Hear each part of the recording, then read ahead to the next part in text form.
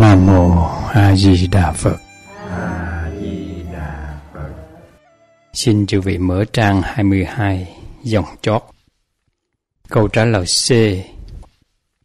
Hộ niệm là trợ duyên cho người bệnh giữ vững ba tư lương, tín, nguyện hạnh của pháp môn niệm Phật để vãng sanh.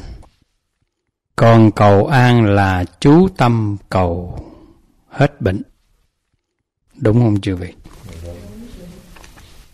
Xin thưa thực ra là mình phân biệt giữa cái hộ niệm và cầu an là mình nhắm tới cái hình thức tu hành của người thời nay. Thường thường thì không lo tu. Mỗi lần mà bệnh xuống thì la làng la xóm chạy lung tung hết. Nhờ người này cầu an, xin Phật cầu an, xin Bồ Tát cầu an. Nhưng mà họ không hiểu rằng là tất cả đều có nhân quả hết. Một cái bệnh nó đến với mình, đều có nhân quả. Một cái dịp may nó đến với mình, đều có nhân quả. Một cái phước báu nó đến với mình, luôn luôn có nhân quả hết. Cho nên thường thường Phật dạy, cầu an là không phải khi bệnh xuống quỳ trước bàn thờ Phật xin Phật cho mình được an lành. Nhờ Thầy đến làm cái lễ cầu an thì mình được an lành, không phải như vậy.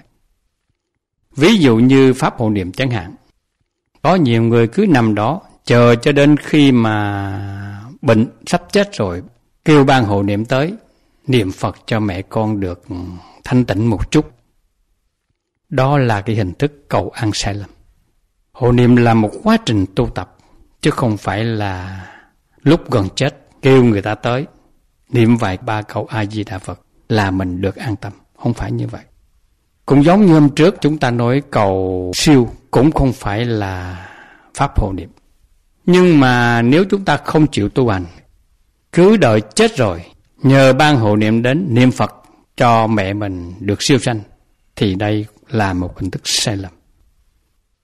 Chứ thực ra thì tất cả các pháp tu, pháp nào cũng có cái viên mạng của nó hết.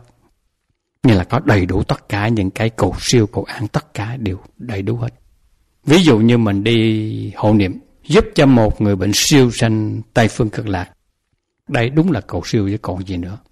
Nhưng mà rõ ràng là hình thức khác.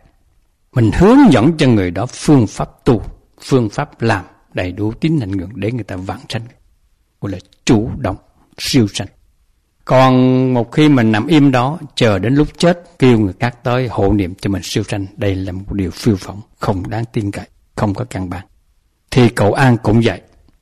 Một người đang bị oán thân trái chủ đánh phá tơi bời, người ta hải kinh vô cùng. Người hộ niệm đến, ủng hộ tinh thần, giúp cho tinh thần người ta trở lại vững vàng, an tịnh, không sợ hãi nữa. Đây chính là phương pháp cầu an nhưng mà cái hình thức này khác, nó có cái đạo lý, có chánh nghĩa đàng hoàng. Còn mà chúng ta cứ làm sai lầm, rồi cầu Phật giúp cho mình được an tâm, một điều phiêu phỏng, không ai giúp được.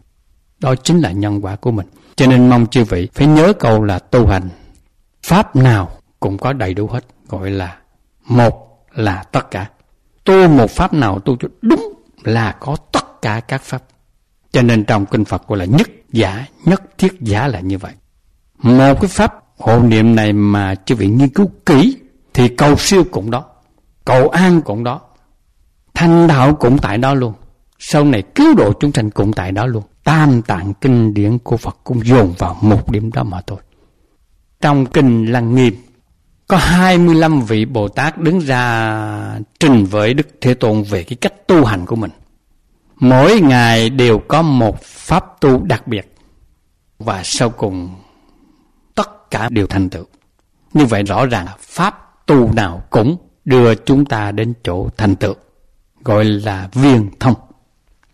Thì viên tức là viên mãn hoàn toàn, thông là thông đạt, thông là khai ngộ trí huệ, thành tựu đã qua. Tất cả có. Tuy nhiên phải nhớ cho một điểm như thế này là mỗi một vị Bồ Tát chỉ tu có một pháp môn. Chứ không phải tu hết 25 viên thông, tu hết tất cả 25 pháp môn, không phải. Một vị Bồ Tát chỉ tu có một pháp môn và sau cùng 25 vị Bồ Tát điều trình với Đức Thế Tôn là điều thành tựu hết. Như vậy rõ ràng pháp của Phật vô hữu cao hạ, không cái nào cao cái nào hết. Nhưng mà nó có một cái điểm là mỗi một người thích hợp với một pháp tu. Một căn cơ thích ứng với một cách hành trì. Thì trong thất bộ đề phần là bảy cái điều giác ngộ của một người tu hành. Đức Thế Tôn dạy là tuyển trạch một pháp môn nào cụ thể thích hợp với căn cơ của mình. Tinh tấn chuyên trì pháp môn đó cho đến ngày thành tựu. Đó là cái điều giác ngộ. Còn nếu chúng ta sĩ chúng ta ôm đồm nhiều pháp môn thì sau cùng lộn xộn. nối theo Ngài Tri Húc, Ngài ngộ đó, là sự sự không xong, việc việc không thành. Đây là cái điều đáng thương của người tu hành trong thời này. Bây giờ trở lại cái vấn đề hộ niệm. Xin thưa với quý vị, hộ niệm chính là một cái pháp tu mà pháp tu này gọi là niệm Phật vãng sanh Tây Phương cực lạc. Như vậy trong Kinh Lăng Nghiêm 25 viên thông thì chúng ta chọn cái viên thông của Bồ Tát Đại Thế Chí là vị mà đứng bên phải của Đức A Di Đà đó. Là niệm Phật viên công chương là cái pháp môn niệm Phật của Đại Thế Chí. Ngài một đời niệm Phật cầu sanh Tây phương cực lạc. Bây giờ là ngài là một vị đẳng giác Bồ Tát coi như tá hữu của Đức A Di Đà hướng dẫn chúng sanh trình pháp giới niệm Phật vãng sanh về Tây phương cực lạc. Ta chọn cái pháp môn này, tại sao ta không chọn những pháp môn khác? Tại vì trong 25 cái viên thông trường đó nó có căn cơ, có trình độ đầy đủ hết. Và Đức Thế Tôn mới tuyến trạch cho chúng sanh trong thời mạt pháp này. Hãy niệm a di đà phật để vãng sanh tây phương là pháp môn thù thắng vi diệu và hợp căn hợp cơ với chúng sanh trong thời này. Nhất là những người mà căn cơ yếu, những người mà phàm phu, tội chứng sâu nặng muốn một đời này thoát ly sanh tử luân hồi, không còn phương pháp nào khác là niệm cầu a di đà phật thì xin thưa với chư vị, chúng ta đang đi đúng theo cái tông chỉ của pháp môn gọi là niệm Phật viên thông của Đại Thế Chí Bồ Tát để trở về Tây Phương Cực Lạc. Trong cái thời mạt Pháp này mà còn căn cơ hạ liệt nữa, muốn thực hiện cho đầy đủ cái tông chỉ của một cái pháp môn một đời thoát vòng sanh tử, luân hồi, trở về Tây Phương tịnh Đạo. Chúng ta rất cần những người biết đạo, biết quy luật, biết cái phương pháp hướng dẫn cho chúng ta đi cho đúng đường, không đi lệch. Thưa thật với chư vị là muốn giúp cho một người phàm phu đầy cả tội chướng mà vượt qua sáu đường luân hồi để vãng sanh về Tây Phương cực lạc thành đạo. Không phải đơn giản. Dẫu rằng là cái pháp môn niệm Phật là pháp môn vô cùng dễ dàng, đơn giản vô cùng. Nhưng mà tự lực mình ra đi xin thưa thật chứ vị mình phải đánh giá cỡ một vạn người chúng ta là một trong mười ngàn người đó còn chín ngàn chín trăm chín mươi chín cô chừng bị thất bại vì nghiệp chướng phá hoại, vì cái xác suất mà tự lực để ra đi quá khó quá khó, chúng ta phải cần cẩn thận. Cẩn thận cái gì đây? Một là tu hành tinh tấn chuyên nhất một chút chuyên nhất một chút. Hai là phải cần cẩn thận, chuẩn bị tất cả những cái gì mà nó làm cho mình sụp đổ. Cái ý nguyện vãng sanh Tây Phương trong những giờ phút cuối cùng. Nếu không thì chúng ta sẽ bị kẹt. Thì xin thưa với quý vị là phương pháp hộ niệm chính là giúp cho người bệnh như chúng ta nè, giữ vững được ba cái điểm là tín nguyện hành của pháp môn niệm Phật từ bây giờ cho đến cái ngày mà chúng ta thở ra không còn thở vào được nữa. Cái giai đoạn đó là giai đoạn quan trọng. Cho nên thường thường khi mà chúng ta nghe về hộ niệm rồi chúng ta cái càng ngày càng vững tâm để mà đi chuyên nhất. Trong những lúc tu hành này những cái gì sơ suất chúng ta tìm cách bỏ lòng, bỏ lòng, bỏ lòng. Một cái tâm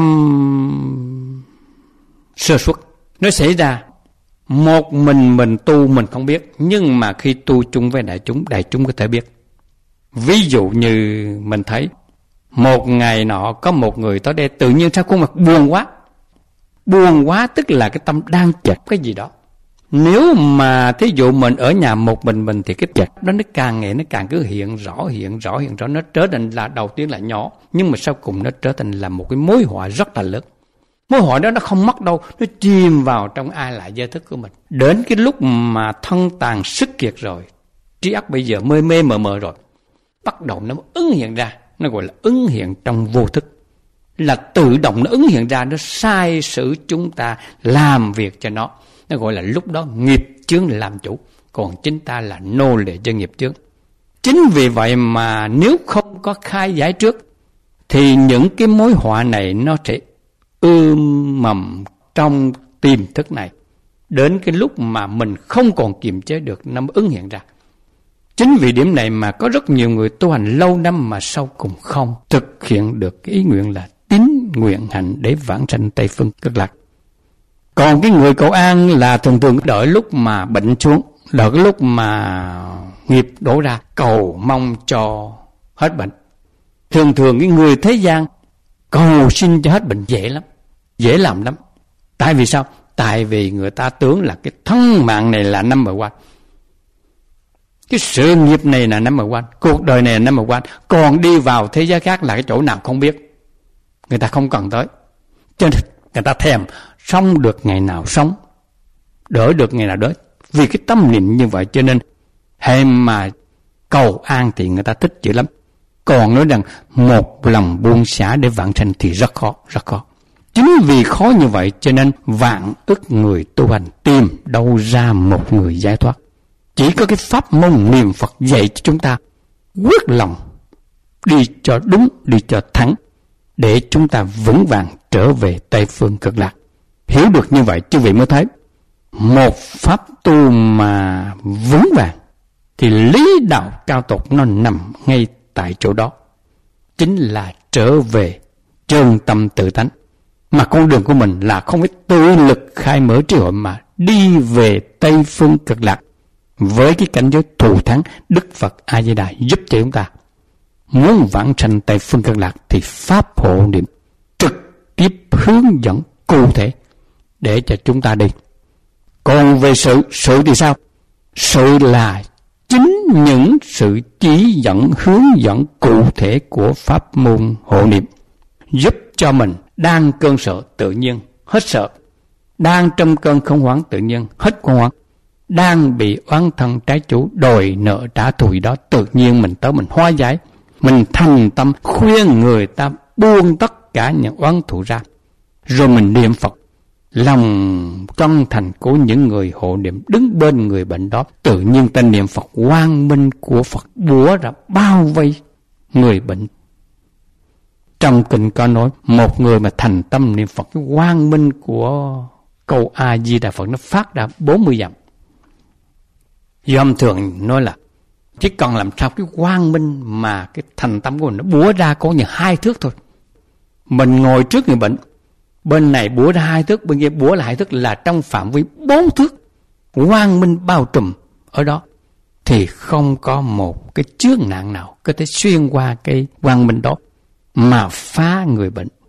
Chính vì thế mà xin thưa với quý vị, pháp môn hộ niệm giúp người niệm Phật là cả một sự vi diệu tối thắng, đơn giản cụ thể, giúp cho từng người vạn sinh tây phương cực lạc là như vậy.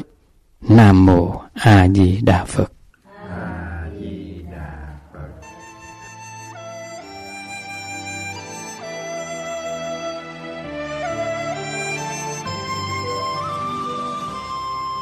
Nguyện cả thảy chúng sanh đều tín niệm di đà, đồng cầu sanh về nước cực lạc. Nguyện đem công đức này trang nghiêm cõi tịnh độ, trên đền bốn ân nặng, dưới cứu khổ ba đường. Nếu có ai thấy nghe, đều phát tâm bồ đề. Hết một báo thân này, đồng sanh về nước cực lạc. Nam mô a di đà phật.